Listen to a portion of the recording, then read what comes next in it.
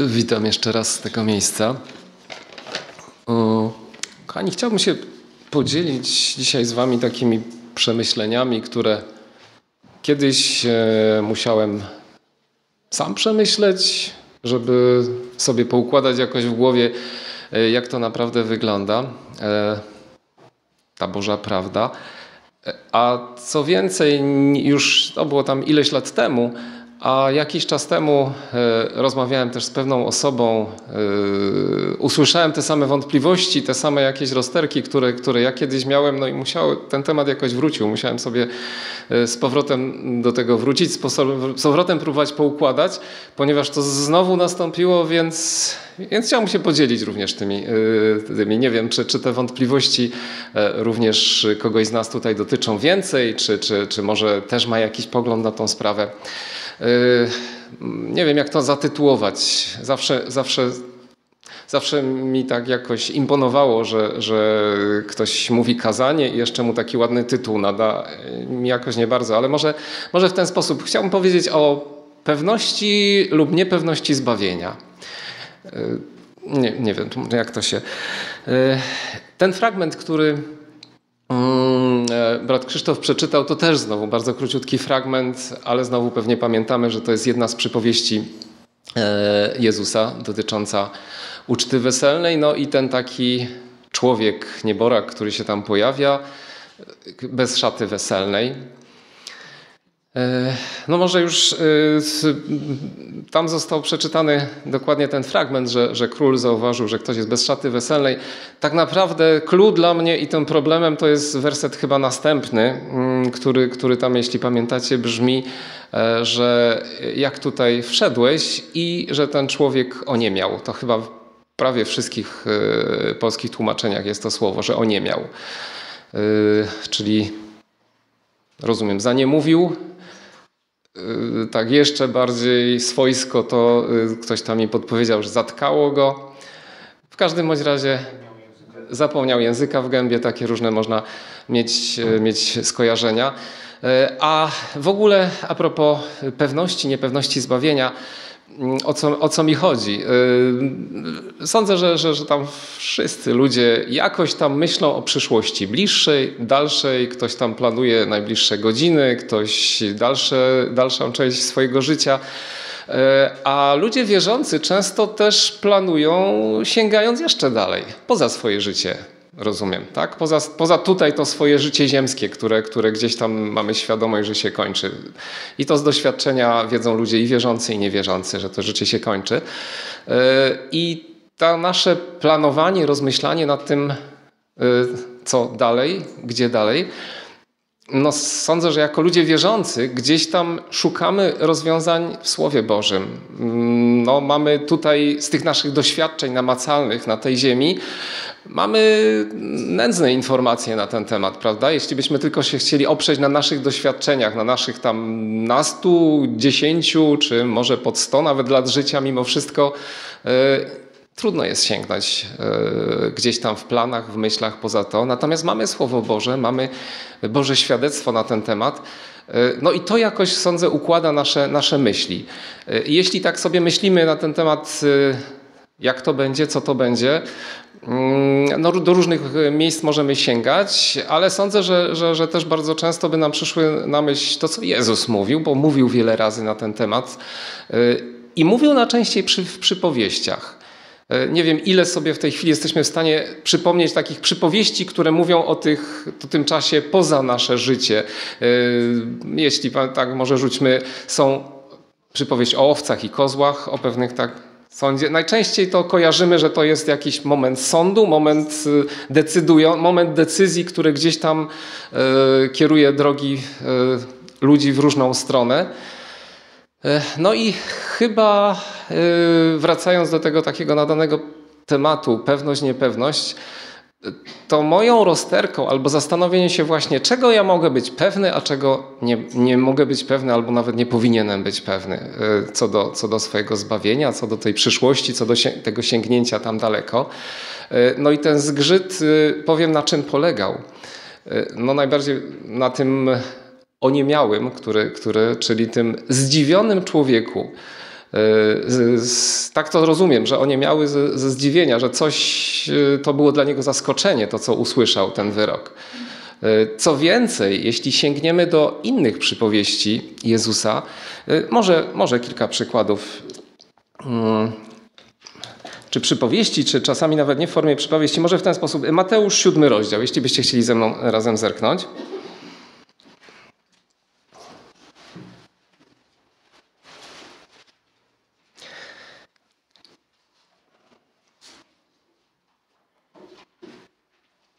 I tu takie od 22 rozdziału może. Wcześniej jeszcze, jeszcze Jezus e, jakby robi wstęp do tego i pewnie też go pamiętamy, ale tu te dwa wersety bym przeczytam. Yy, przeczytam 22, 23. W owym dniu wielu mi powie, Panie, Panie, czyż nie prorokowaliśmy w imieniu Twoim, w imieniu Twoim nie wypędzaliśmy demonów i w imieniu Twoim nie czyniliśmy wielu cudów? A wtedy im powiem, nigdy Was nie znałem, idźcie precz ode mnie, Wy, którzy czynicie bezprawie.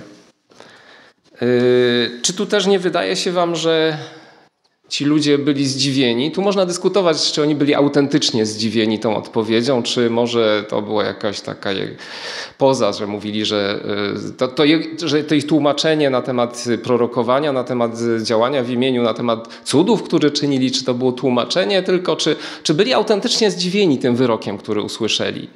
Wyrokiem yy, nigdy was nie znałem, idźcie precz ode mnie, wy, którzy czynicie bezprawie.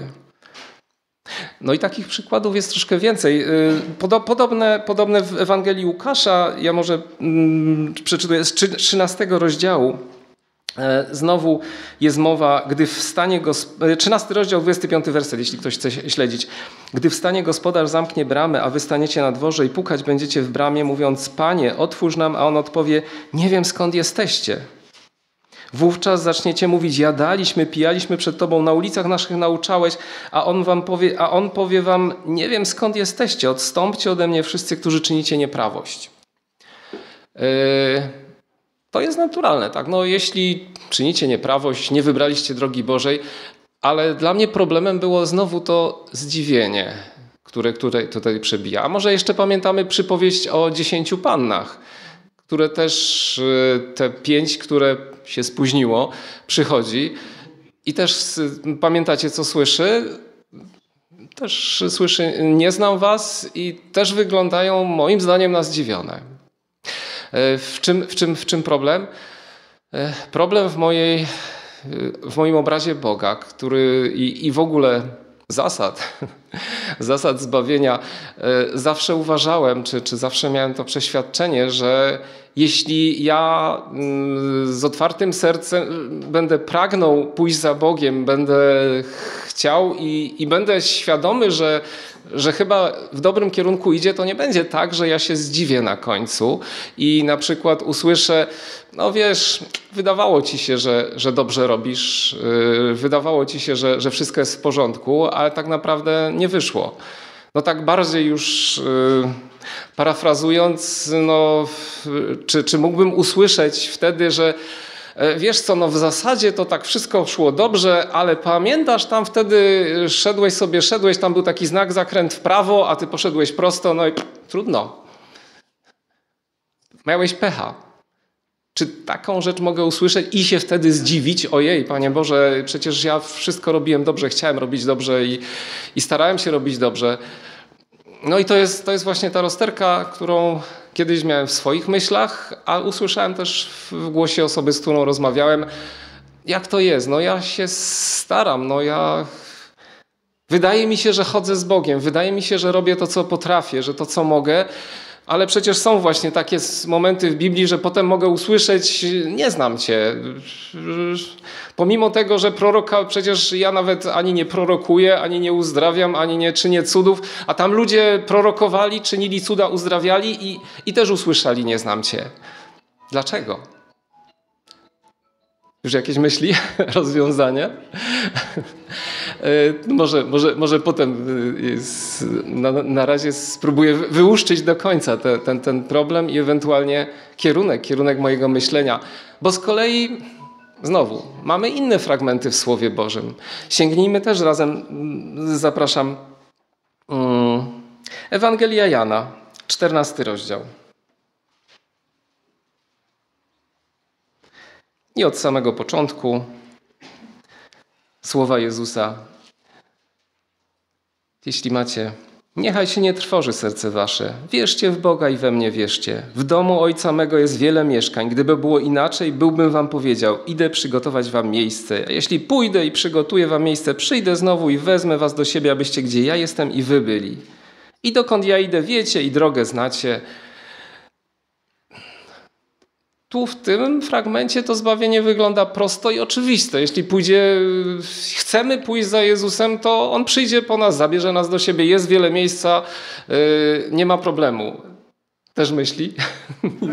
Bo ja chciałem to już, bo tak poszedłem w tym kierunku, ja też nad tym myślałem, bo tu ja bym się wrócił do y, powtórzonego, księgi powtórzonego prawa, 13 rozdział, Mhm. mówi o proroctwach, o tym wszystkim, o świadectwach i tu wracaliśmy do proroctw, że proroctwa to potwierdzą, a nie zawsze proroctwa potwierdzą, bo tu jest wyraźnie napisane w 13 rozdziale, że jeżeli wszystko się sprawdzi w proroctwach, ok, a jeśli ktoś Cię będzie od, od Boga wprowadzał, to masz go nawet ukamienować, czy rodziny, czy kogokolwiek. I mówisz, wiele mieszkań w domu ojca mojego. Przypomniał mi się Wojtyła. On mówi też, że przygotować miejsca. I on też wierzył w proroctwa. I to były prawdziwe proroctwa, tylko że fałszywie podane. On wierzył w proroctwa maryjne. I to, to jakby potwierdzało tą myśl, że po prostu ci ludzie szczerze wierzą w to i wierzyli, no nie? I on mówił, że idzie przygotować do Ojca, tylko że za jakim proroctwem on poszedł. I to już właśnie mówi Księga Powtórzonego Prawa, że i potem No. Panie tutaj mówiłeś, że wy żeście szli uczciwie, żeście nauczali, bo mogli uczciwie to robić, a z drugiej strony No właśnie, czy jak, jaki mamy obraz Boga? Czy można szczerze mylić się cały, przez całe swoje życie, szczerze iść w szczerości? Tak jak mówisz, mogą być różne sytuacje. Można, są ludzie, którzy poszli za różnymi proroctwami, za różnymi prawdami, e, ale często robili to szczerze. No, Paweł też e, szedł szczerze, e, jeszcze jako Saul, szedł szczerze za y, wierzę, szedł szczerze za, za tym, za swoim przekonaniem, za, za tym, co jest.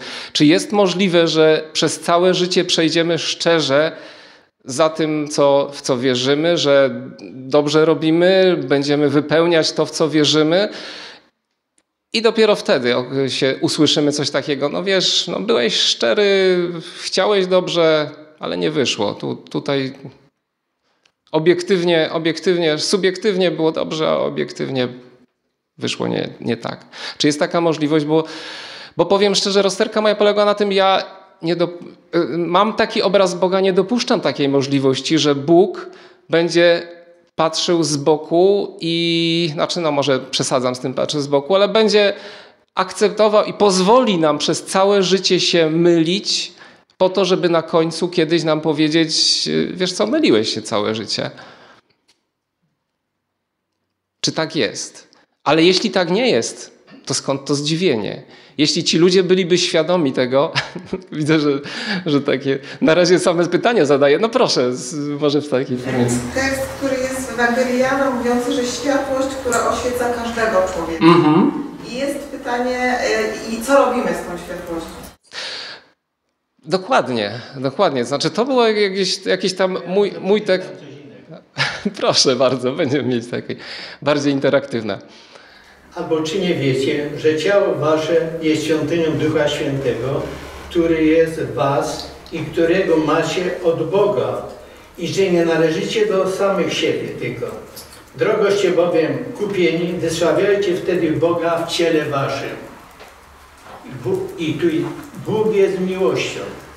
I Bóg nas tak ukochał, pokochał, że oddał Syna swego, no mówiąc w sposób taki ludzki, kto wie, czy nie płakał, jak Jezus konał i to wszystko, co się stało. Ale Bóg wiedział o tym, co będzie. I Bóg nam cały czas w naszej drodze, tak myślę, ja myślę po swojemu teraz, powiem.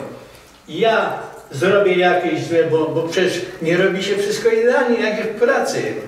Nie zrobi się to, jakby się chciało super, bo byśmy doszli nie wiem do czego.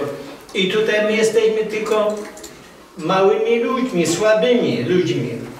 Ale Bóg mieszka w nas I ten znak, to powiedziałeś, że tam znak w prawo i ktoś pojechał, ale tam już później pisało piekło.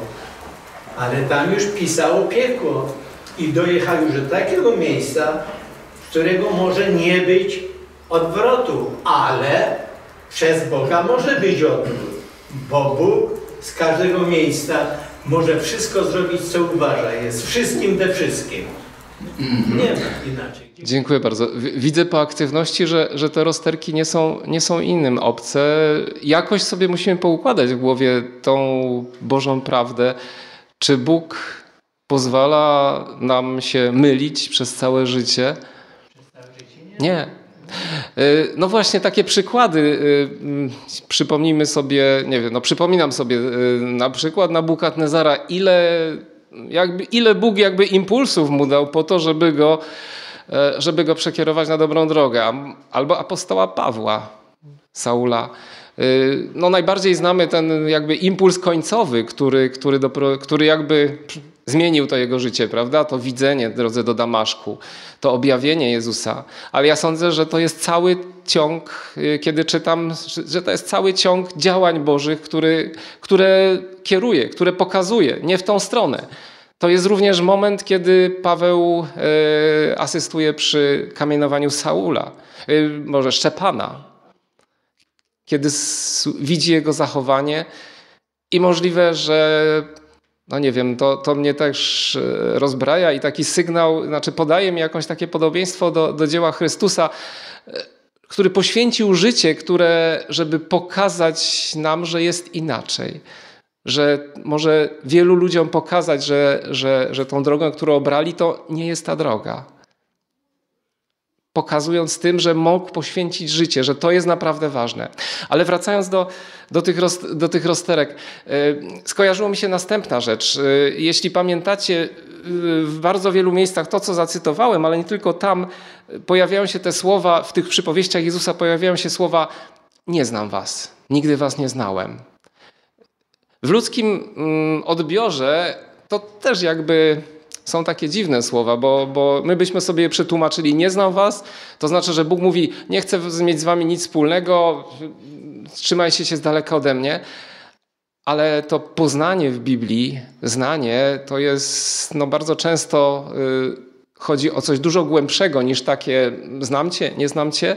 Chodzi o to, czy jest nawiązana relacja, czy nie. Y, Kiedy słyszymy, kiedy czytamy na przykład y, no, zwiastowanie, na- y, przykład zwiastowanie u Marii, kiedy dowiaduje się, że ona będzie miała syna i odpowiada na to, no ale ja nie znam męża. No a co, jak znasz męża, jak się z nim spotkałaś, to by coś zmieniło? No nie, chodziło o bardziej o relacje, które, które jeszcze nie zostały nawiązane, które potrzebne były do tego, żeby w naturalny sposób pojawił się ten syn, prawda? Czyli czasami coś głębszego. Co więcej, jeszcze jeden taki jest fragment, który też dał mi do zastanowienia w, y, list, w liście Pawła do Galacjan. Y, Może kontekst cały jest, jest mniej istotny, tam dotyczy, y, dotyczy mm, jakby co nam, czego, co nam jest zabronione, co jest dozwolone. Czwarty rozdział listu do Galacjan. I dziewiąty werset sam y, zacytuję, taki troszkę dziwny. Teraz jednak, kiedy poznaliście Boga, a raczej kiedy zostaliście przez Boga poznani i tak dalej. Czyli pozna, poznanie y, to, to już jakby sugeruje, że to jest y, jakaś bardzo konkretna relacja i to relacja zwrotna. I to jakby, nie wiem, jest dla mnie jakimś tam śladem do wytłumaczenia. Jak to jest możliwe, że, że ludzie znajdą się w punkcie, czy mogą się znaleźć w punkcie, w którym będą zdziwieni wyrokiem, który na nich napada, y, który na nich zapada.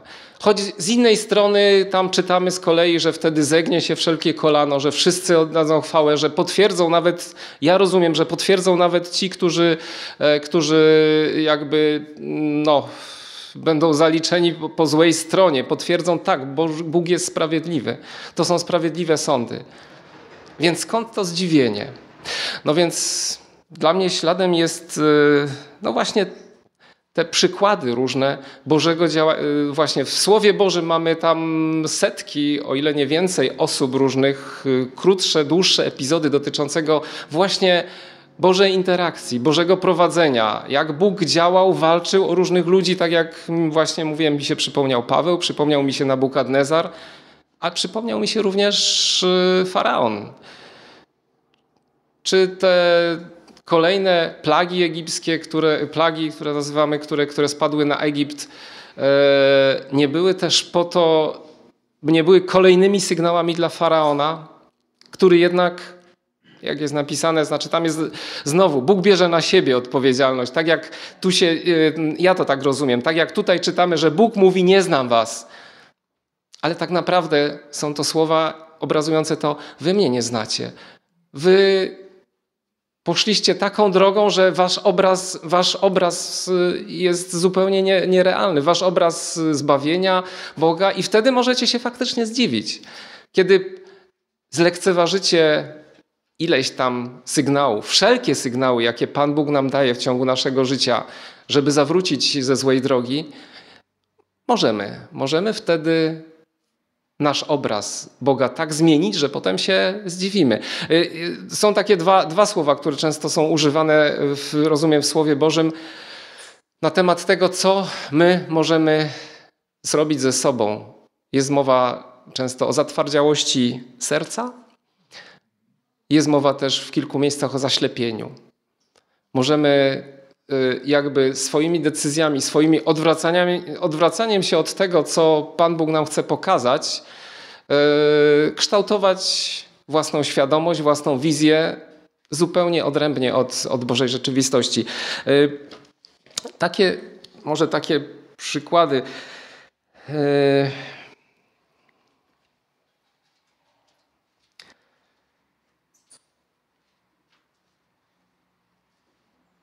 Może tak, Księga Jeremiasza, szósty rozdział. Pozwólcie, że razem zerkniemy.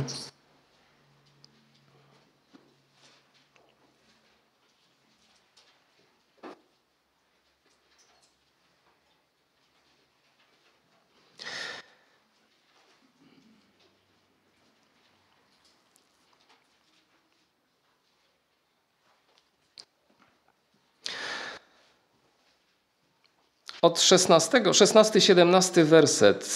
Tak mówi Pan, przystańcie na drogach, patrzcie, pytajcie się odwieczne ścieżki, która to jest droga do dobrego, chodźcie nią, a znajdziecie odpoczynek dla waszej duszy. Zakończenie wersetu, lecz oni odpowiedzieli, nie pójdziemy. Postawiłem też nad wami stróżów, aby wołali, uważajcie na głos trąby, lecz oni odpowiedzieli, nie będziemy uważać.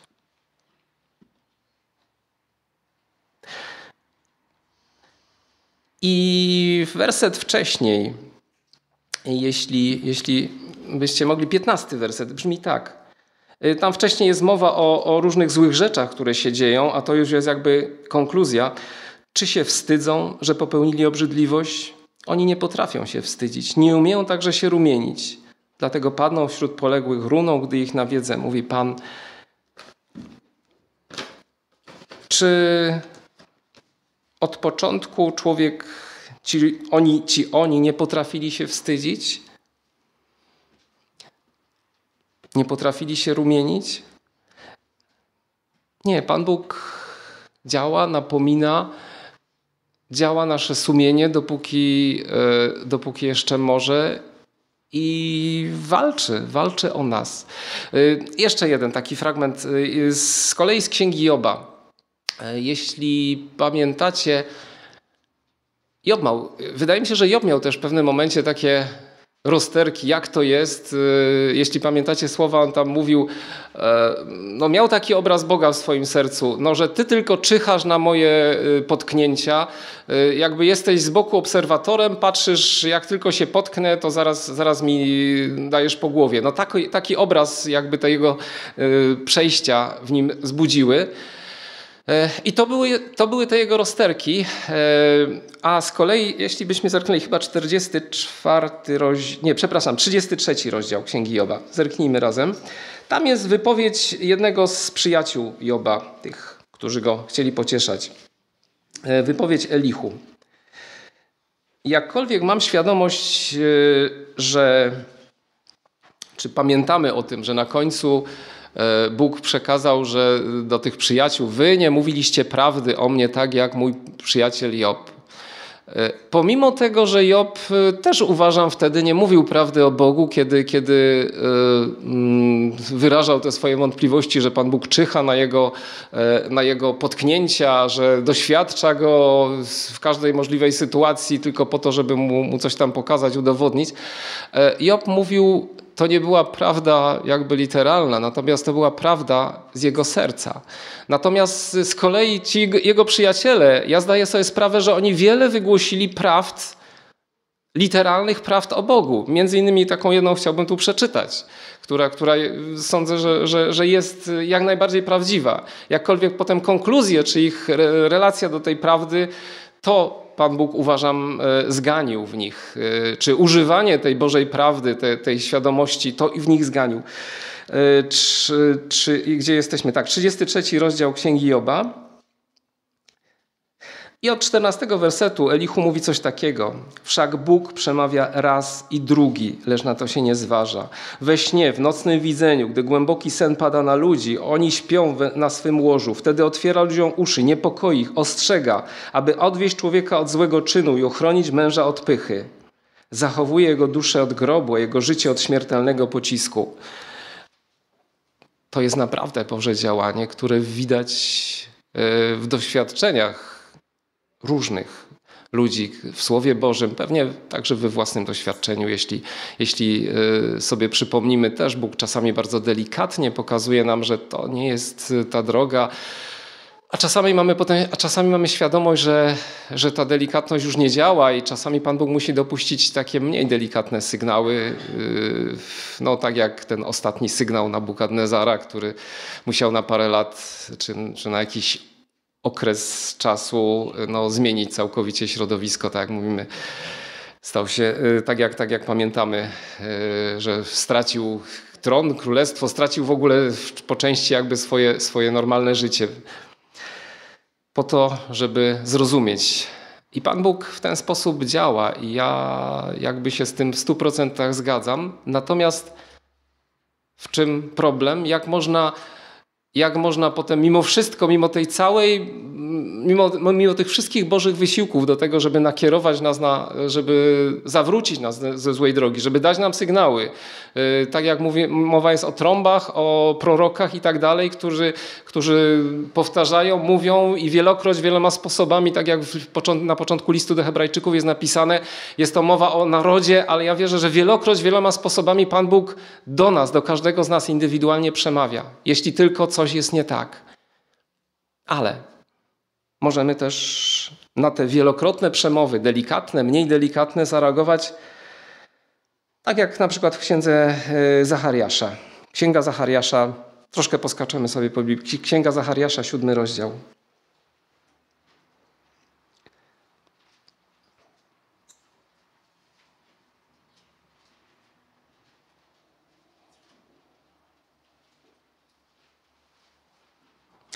Tam jest pewne napomnienia Boże co do, co do zachowania się Izraelitów, a od 11 wersetu jest y, jakby diagnoza, co, co oni w tym momencie robili.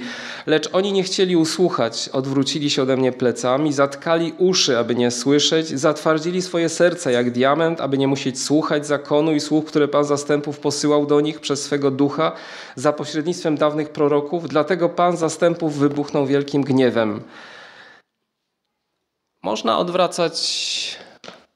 Pan Bóg robi wszystko, co się da, no poza zmuszaniem nas do czegokolwiek. Stety i niestety. Poza wciskaniem na siłę do naszej głowy, do naszych myśli, do naszych działań, e, swojej woli, swojego prawa.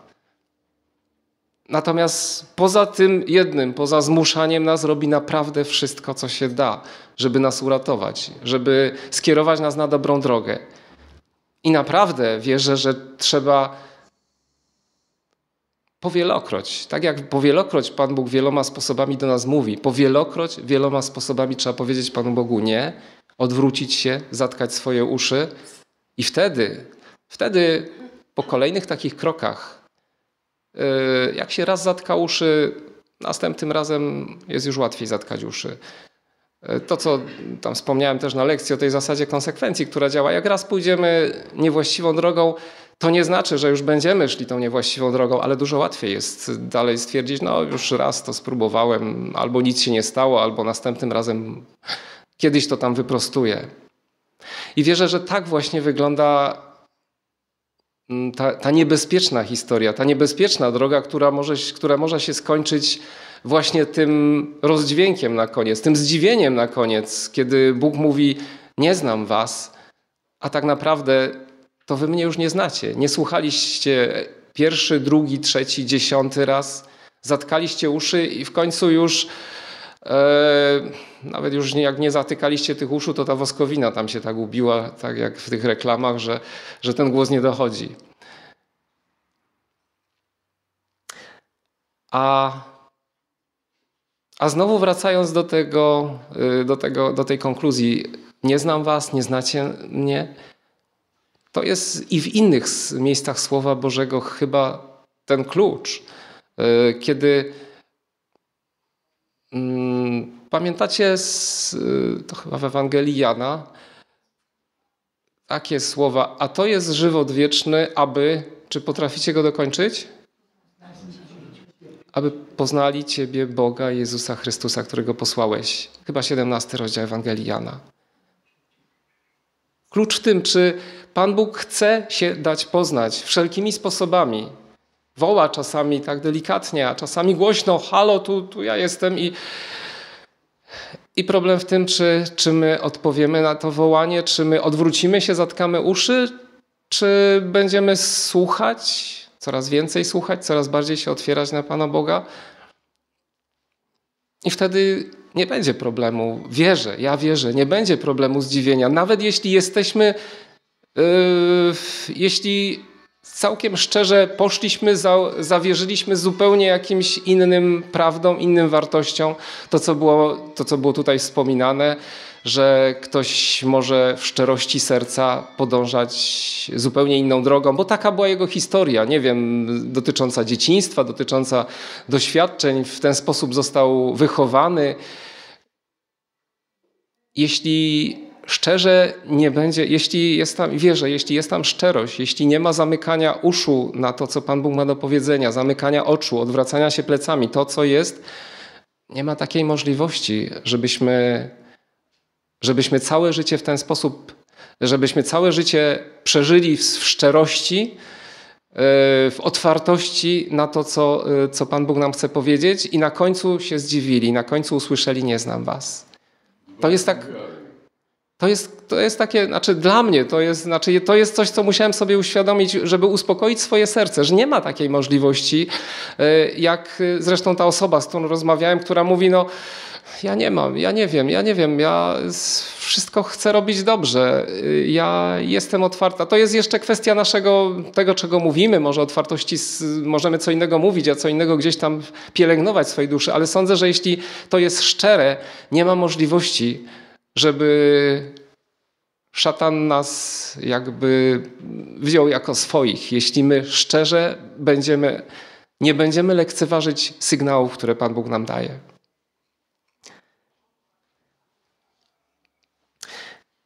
Takie pocieszenie, może, które, które.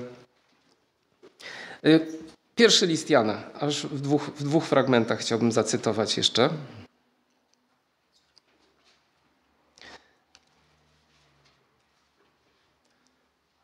takie fragmenty, które mnie w jakiś tam sposób y, jakby również uspokoiły moje serce, utwierdziły. W tej chwili wydaje mi się, że, że jest to jakaś odpowiedź na, na takie rozterki albo niepokoje, że, że może, możemy się jakby całe, całe życie mylić i być szczerym w tym i, i potem usłyszeć takie brzydkie rzeczy. Y, w Ewangelii, ja, przepraszam, pierwszy list Jana, trzeci rozdział, Mm, e, od 19 wersetu. O tu jest też takie słowa, mm, uspokoimy, no może w ten sposób. Po tym poznamy, żeśmy sprawdy i uspokoimy przed Nim swoje serce. Sądzę, że to właśnie tego uspokojenia serca mi, mi brakowało i czasami może komuś też brakować tego uspokojenia serca, że, że jest w porządku, że będzie dobrze, że jeśli będę się trzymał Boga, e, zdaję sobie sprawę, są różne doświadczenia, pewnie ileś tam potknięć w moim życiu za mną. Mam nadzieję, że, że mniej przede mną, ale różnie może być. Ale nie ma tak, że, że, jestem, że jestem jakby nieświadomie na przegranej pozycji. Y, I dalej czytając, mm, wracając do tekstu. Potem poznamy, żeśmy sprawdy uspokojem przed Nim swoje serca, że jeśli by oskarżało nas serce nasze, Bóg jest większy niż serce nasze i wie wszystko. Ja wierzę, że dopóki oskarża nas nasze serce, dopóki mamy wątpliwości. Czasami może się pojawiają te wątpliwości, no jeszcze innego rodzaju. No ja cały czas chcę, tylko, tylko tyle, to mi nie wyszło w życiu, to mi nie wyszło w życiu, to yy, taka yy, jakby droga, chcę iść za, za Bogiem, a to tak nie wychodzi. Dopóki oskarża nas nasze serce, to mamy to pocieszenie. Bóg jest większy od nasze, naszego serca. Bóg potrafi Bóg potrafi nas wyciągnąć z tego galimatiasu, nawet jeśli sami żeśmy się w to wpakowali. Może czasami, potem jest następny werset. E, jeśli nasze serce nas nie oskarża, możemy śmiało stanąć przed Bogiem. Mogą być dwa, dwa powody. Z jednego powodu, jeśli nas nasze serce nie oskarża, to znaczy, jeśli Pan Bóg uspokoił to nasze serce, dał nam tą pewność zbawienia, i z tego powodu nasze serce nas nie oskarża. To jest właśnie ten moment, że możemy stanąć przed Bogiem, tutaj już y, uspokajamy nasze serca. Ale jest też niebezpieczeństwo, że nasze serce nas nie oskarża, bo, bo żeśmy go już zatwardzili. I w tym wypadku, rozumiem, to nie jest, to nie jest, to, to nie jest uspokojenie. Zresztą to już nie jest dla, kiedy czytamy Słowo Boże, to już, to już nie jest dla, dla, yy, dla tych osób, którzy, no nie wiem, poszli za daleko. Nie zdajemy sobie sprawy, gdzie to jest to za daleko, ale, ale można pójść za daleko. Można y, tak bardzo roz, rozjechać się ze znajomością Boga, że, że potem usłyszeć nie znam was i, i być zdziwiony, znowu wracając do tego problemu. Y, jeszcze, y, ale jeszcze z piątego rozdziału, też tego pierwszego listu Jana, czyli dwa, dwa rozdziały dalej i również dwudziesty wersetu rozwiązanie tego, to znaczy Pan Bóg wielokroć wieloma sposobami, ale również tym sposobem. Wiemy, że Syn Boży przyszedł i dał nam rozum, abyśmy poznali tego, który jest prawdziwy. Jeszcze jeden sygnał do kompletu. Prorocy, królowie, wieloma sposobami, doświadczenia. I jeszcze Jezus Chrystus, który przyszedł, oddał samego siebie, pokazał, jak ważne jest dobry wybór w naszym życiu, poświęcił swoje życie, żeby nam pokazać, żeby dać nam jeszcze jeden sygnał, który taki już do kompletu, całkowicie, jeśli by inne sygnały zawiodły, inne napomnienia zawiodły. I tak reasumując, to nie wiem, czy znaczy ja sobie to chciałem poukładać w głowie, nie wiem, nie wiem czy potrafiłem to wyrazić, jak ja sobie to w głowie poukładałem, ta pewność zbawienia, a czego można być pewnym, czego niepewnym i, jak można to, to popsuć. Jak można popsuć ten cudowny Boży plan, żeby żeby zbawić wszystkich. E, kiedy, bo w paru miejscach czytamy Słowie Boże, jeśli pamiętacie, żeby chyba w liście Piotra, kiedy, kiedy mówi, że, że Pan Bóg zwleka, ale zwleka, bo chciałby, żeby, nie chciałby, aby ktokolwiek zginął. Chciałby, aby, aby wszyscy by zostali zbawieni. Chyba tam to jest napisane. I jeszcze w innym miejscu też mi się kojarzy, że Pan Bóg nie chce, aby ktokolwiek zginął, że Pan Bóg ma ratunek przygotowany dla wszystkich. Jak można taki plan popsuć? No właśnie tylko w ten jeden sposób, wydaje mi się. Zlekceważyć go, odwrócić się do niego plecami, do tego planu i to odwrócić się wielokroć. I jak po cichu, jak głośno, jak różnymi sposobami Pan Bóg do nas mówi. Takie jeszcze, no nie wiem, jedno ostatnie uzasadnienie a przy okazji wyjaśnienie ty, tych moich rozterek, e, taka sytuacja, która też mi się w pewnym momencie wydawała dziwna, jeśli pamiętacie z Apokalipsy, obraz e, drugiego zmartwychwstania, to miasto Jeruzalem, które, które stępuje od Boga. I ten tłum, który drugie zmartwychwstanie, tłum ludzi, no właśnie rozumiem, mm, tych kozłów z innej przypowieści, czy tych panien głupich, czy jeszcze innych, którzy, usłysz, którzy usłyszeli nie znam was. Yy, I można mieć rozterki i zdziwienie, dlaczego ten tłum, jeśli faktycznie oni byli szczerze zdziwieni, kiedy usłyszeli ten wyrok, to kiedy widzą teraz tą rzeczywistość i swoje zdziwienie, powinny tam być różne reakcje. Powinny być reakcje, no nie wiem, jedni może źli na siebie, na innych, inni może, jeszcze inni może powinni w tym momencie, yy, nie wiem, siąść i płakać. A tu mamy taki obraz, że cały ten tłum idzie yy, za głosem szatana. Ale Jezus Chrystus uwierzył Bogu Najwyższemu i mamy się na tym wzorować przez całe życie. Bóg jest z nami. Jezus Chrystus spowodował to, że Bóg Najwyższy uwierzył Go i uwierzył Mu, to my to samo mamy robić.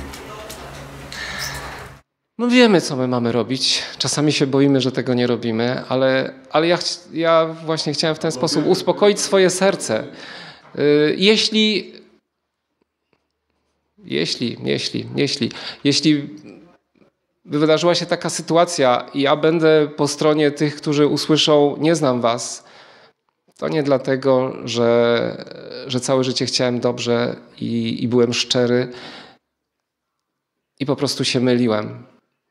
Dlatego tak się może stać tylko wtedy, kiedy odwrócę się plecami do tych wszystkich sygnałów, które Bóg nam daje. Kiedy zlekceważę, ale chociaż jestem świadomy, że pewnie już wiele takich sygnałów zlekceważyłem. Wiele sygnałów y, Bożych stwierdziłem, ja to zrobię jutro, ja ten, tą rzecz wyjaśnię jutro. I w związku z tym jestem narażony na to, że każde następne powiedzenie Bogu nie będzie, będzie łatwiejsze, a nie trudniejsze. Ale jednak wierzę, ufam i, i czuję, że tak powiem, uspokojenie swojego serca, że dopóki żyję, Pan Bóg się nie podda, że dalej będzie wysyłał te sygnały. Kiedy, dopóki tylko jeszcze te uszy mi nie zarosły, yy, to będzie wołał na mnie. Znaczy, to jest takie moje, mój obraz, jak sobie muszę wytłumaczyć, jak sobie wytłumaczyć, musiałem Bożą sprawiedliwość wobec tych dziwnych sygnałów, że właśnie wracając wobec sygnału, że, że ktoś może być zdziwiony, że, że może wydawać się, że, że on cały czas chciał dobrze, a, a źle wyszło.